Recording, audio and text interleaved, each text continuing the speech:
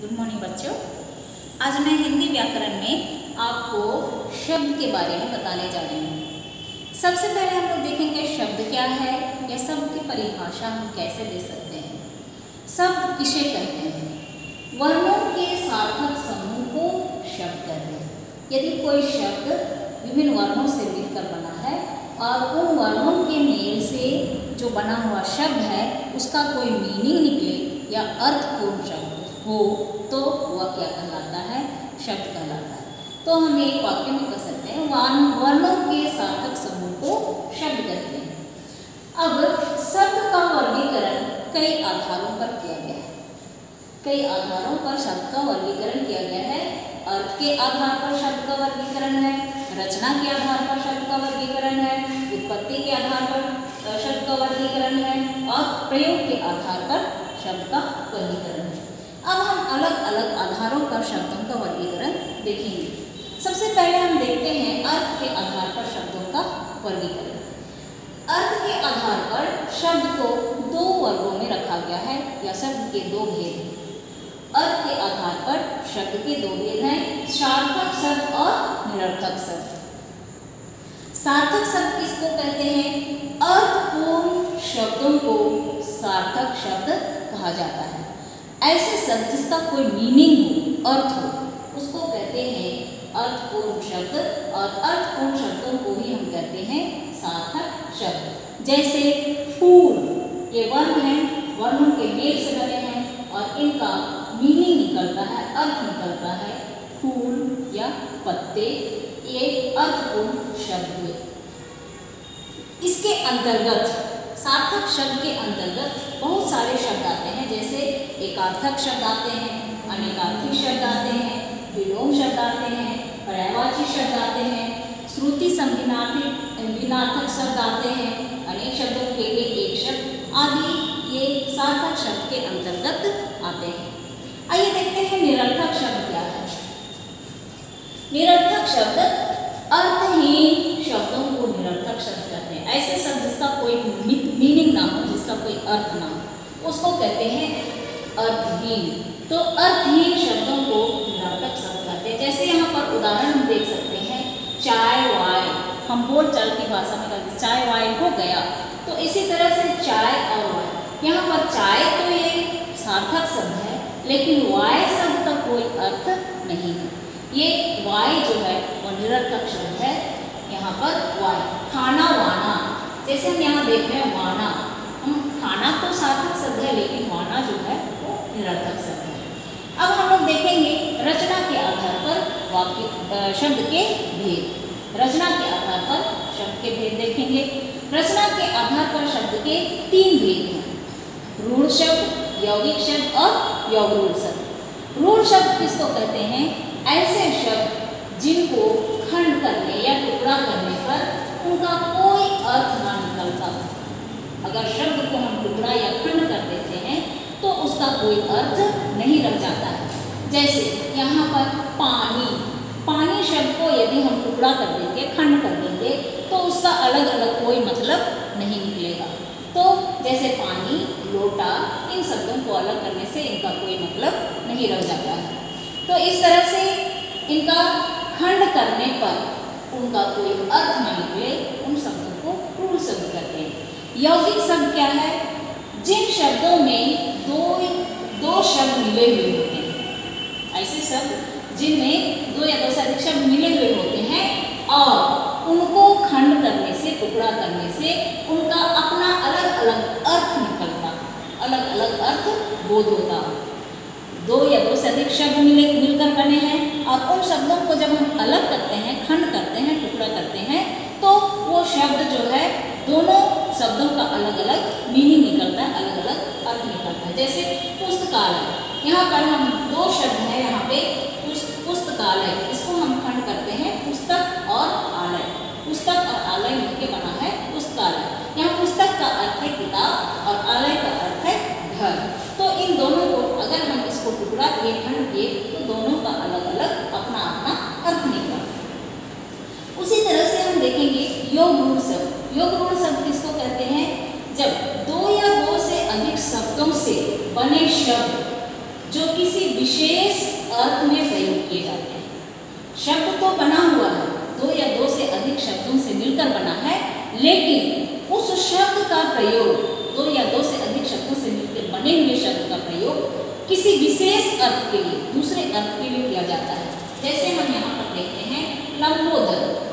लंबोदर शब्द है, ये लंबोदर तो कहा जाता है अगर हम इसको जैसे समाज के अनुसार विग्रह करते हैं तो कहते हैं लंबा है उधर जिसका लेकिन यह लंबोदर शब्द किसके लिए प्रयोग किया जा रहा है? एक विशेष अर्थ के लिए प्रयोग किया जा रहा है, और वो है गणेश।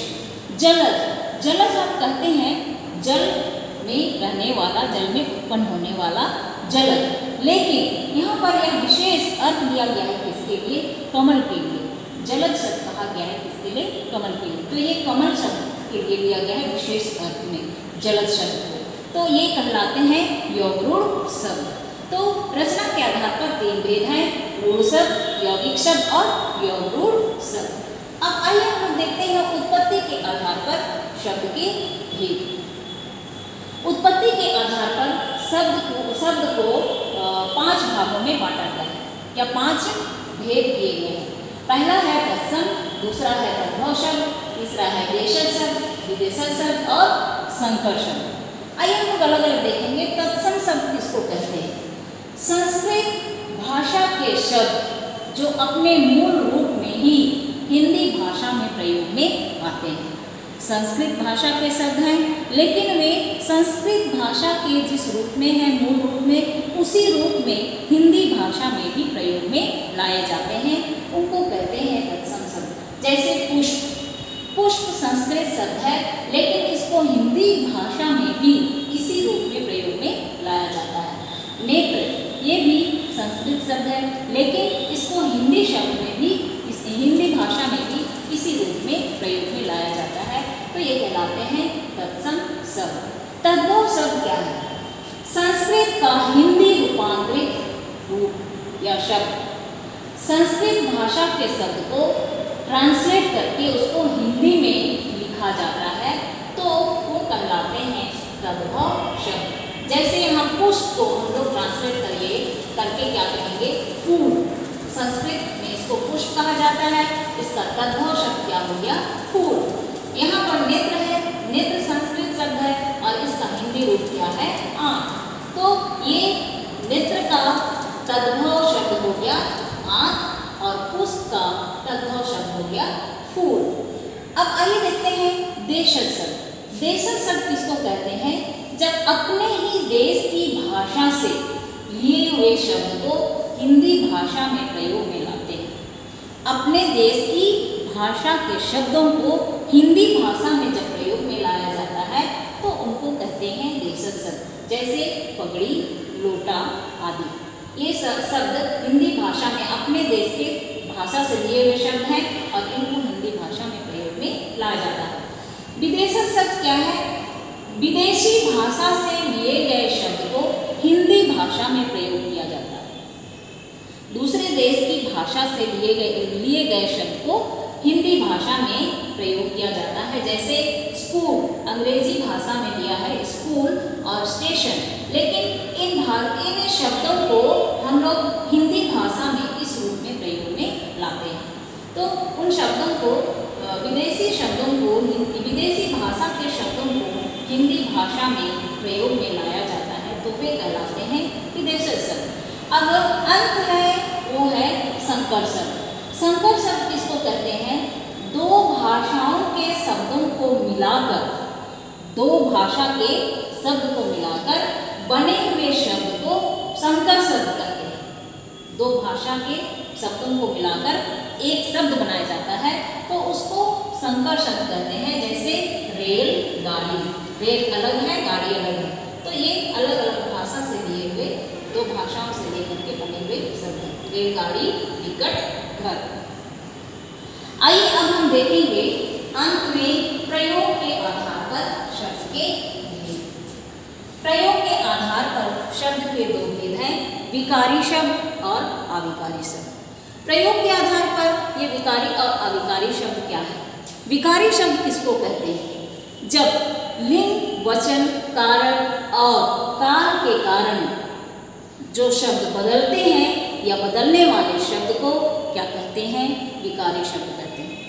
अगर शब्द लिंग वचन और कारक और काल के कारण बदल जाता है, अगर कारक बदलता है तो वो शब्द बदलता है, लिंग बदलता है तो वो शब्द बदलता है, काल बदलता है तो वो शब्द बदलता है। तो ऐसे शब्द को हम लोग कहते हैं विकारी शब्द। लिंग, वचन, कारक और काल के कारण बदलने वाले शब्दों को विकारी शब्द कहते हैं। जैसे उदाहरण है यहाँ पर, लड़का। लड़का, अगर हम इसका लिंग बदल देते हैं तो होता है लड़की, और इसका वचन बदल देते हैं तो होता है लड़कियाँ। तो इस तरह से ये क्या कहलाते हैं? विकारी शब्द। अब अविकारी शब्द क्या है? जिन शब्दों के रूप कभी नहीं बदलते किसी भी कारण से, लिंग वचन कारक और काल के बदलने से जिन शब्दों का परिवर्तन नहीं होता है, वे किसी भी रूप में परिवर्तित नहीं होते हैं, उन्हें कहते हैं आविकारी शब्द जैसे, यहाँ, वहाँ, आज, कल, ये ऐसे शब्द हैं, और भी बहुत सारे शब्द हैं, जो कभी भी किसी भी परिस्थिति में वे बदलते नहीं हैं। जैसे संयोजक शब्द भी हैं, जैसे और, इसलिए, तथा, ये शब्द कभी भी किसी भी परिस्थिति में बदलते नहीं हैं। तो ऐसे शब्द को कहते हैं अविकारी शब्द। बच्चों, ये था शब्द और शब्द के भेद विभिन्न आधारों पर। आज के लिए हम लोग इस पाठ को यहीं ख़त्म करते हैं। धन्यवाद।